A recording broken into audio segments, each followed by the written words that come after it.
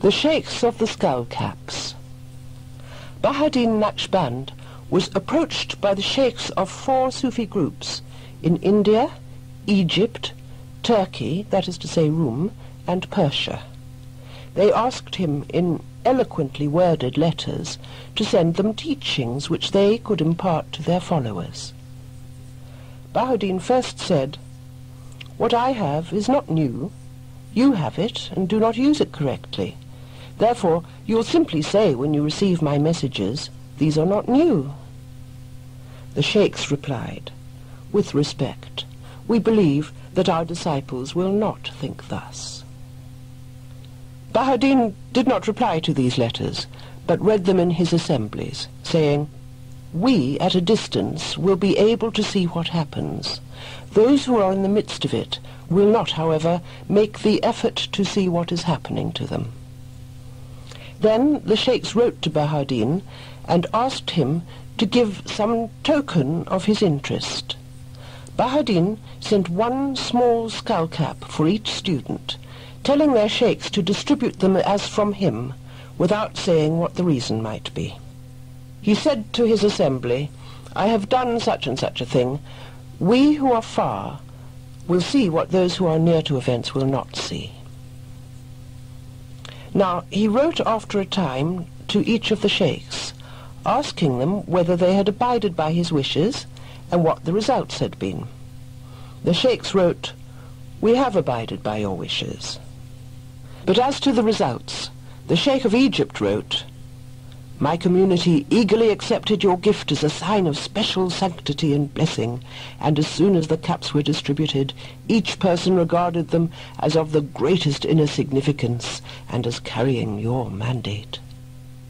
And the Sheikh of the Turks wrote, on the other hand, The community regard your cap with great suspicion. They imagine that it betokens your desire to assume their leadership.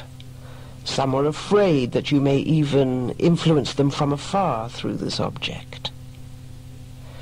There was a different result from the Sheikh in India, who wrote, Our disciples are in great confusion, and daily ask me to interpret to them the meaning of the distribution of skull caps. Until I tell them something about this, they do not know how to act. The letter from the Sheikh of Persia said, the result of your distribution of the caps has been that the seekers, content with what you have sent them, await your further pleasure, so that they may place at the disposal of their teaching and of themselves the efforts which should be made.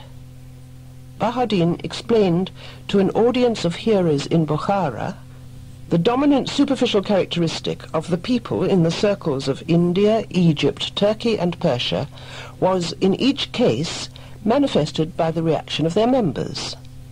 Their behaviour when faced with a trivial object such as a skull cap would have been exactly the same if they had been faced with me in person or with teaching sent by me. Neither the people nor their sheikhs have learned that they must look among themselves for their choking peculiarities. They should not use these trivial peculiarities as methods to assess others.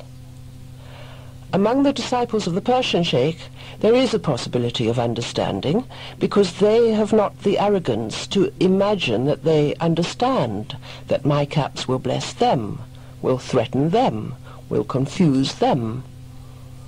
The characteristics in the other three cases are Egyptian, hope, Turkish, fear, and Indian, uncertainty. Now some of the epistles of Bahauddin Naqshband had meanwhile been copied as a pious act and distributed by well-meaning but unenlightened dervishes in Cairo, Hind, and the Persian and Turkey areas. They eventually fell into the hands of the circles surrounding these very sheikhs of the skull caps. Bahauddin, therefore, asked one wandering calendar to visit each of these communities in turn and to report to him how they felt about his epistles. This man said on his return, They all said, This is nothing new. We are doing all these things already. Not only that, but we are basing our daily lives upon them, and by our existing tradition we keep ourselves occupied day in and day out with remembrance of these things. El Shah Bahauddin Naqshband thereupon called all his disciples together. He said to them, You who are at a distance from certain events connected with these four shapely groupings will be able to see how little has been accomplished by the working of the knowledge among them. Those who are present there have learned so little that they can no longer profit from their own experiences. Where, therefore, is the advantage of the daily remembrances and struggle?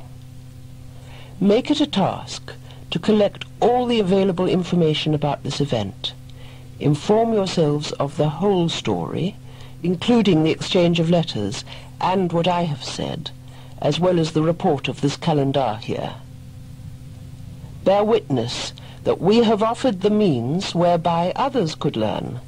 Cause this material to be written down and studied, and let those who have been present witness it, so that, God willing, even reading about it might prevent such things happening frequently in future, and might even enable it to come to the eyes and ears of those who were so powerfully affected by the action of inactive skullcaps.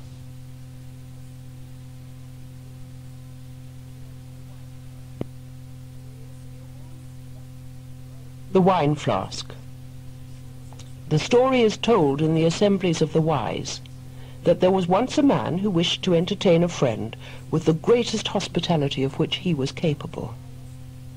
When he and his friend had been sitting for some time after dining, the host said, How do you feel about drinking some wine to stir the dullness of our thinking and to stimulate the sharpness of our feelings? His guest agreed. Now that man had in his house only one flask of wine, and he told the guest this. But when he sent his son, who was afflicted by the malady of double vision, for the wine, the son returned and said, Father, there are two bottles. Which of them do you want me to bring? Ashamed that his guest should think that he was not giving him his all, the father replied, Break the one bottle and bring us the other here. The youth, of course, cast a rock upon the one and only bottle, with the result that he imagined that he had unintentionally broken both and therefore there was no wine for host or guest that night. The guest thought that the youth was a fool, when he was only suffering from a disability. The host's pride in his own hospitality was the cause of the destruction of the bottle. The boy was grieved that he had done something wrong. This was all because the host was afraid that if he told his guest at the outset that his son was afflicted by double vision, that it was just a pretext for not being ready to expend all his wine.